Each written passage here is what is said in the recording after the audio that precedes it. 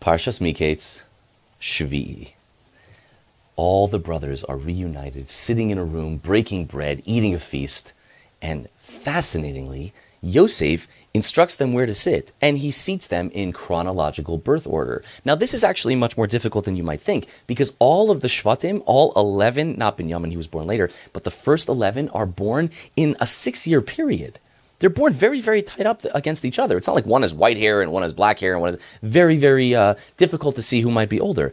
But he somehow knows who's older and seats them as such. How does he know? And then, according to the Medrash, he sits there looking at his cup and says, Oh, yeah, I can tell you stories about your childhood. And he starts telling them stories that he has no way of knowing. And they don't understand how this is possible.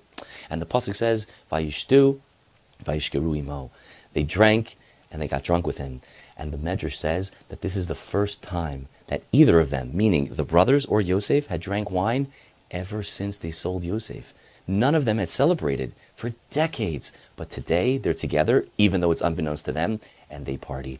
And then when it's time to leave, hugs, hugs, and kisses, sends them off, and he says to his chamberlain, Do me a favor, take my magic goblet, that helps me tell them who's older and who's not, and hide it in the backpack of the youngest one. And sure enough, they do that.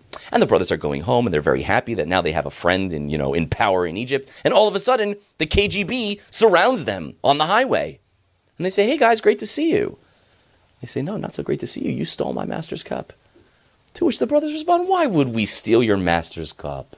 We even brought back the original monies that we thought was a mistake. We would never steal from your master. Your master's been so nice to us. We would never. They say, We'll see. And they line them all up, one at a time, and go through their luggage. And sure enough, when it gets to Binyamin, they find the cup. And the brothers rip their clothes and they cry and they can't believe what has befallen them. And they go back, they're brought back to the city, and they stand in front of Yosef. And Yehuda says to Yosef, Take us all as slaves.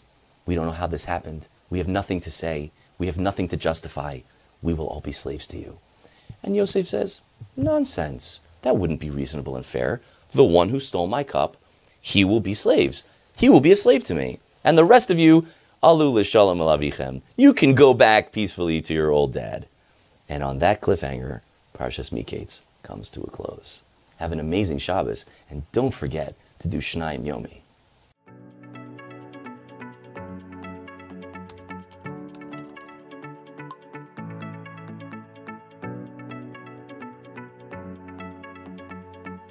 you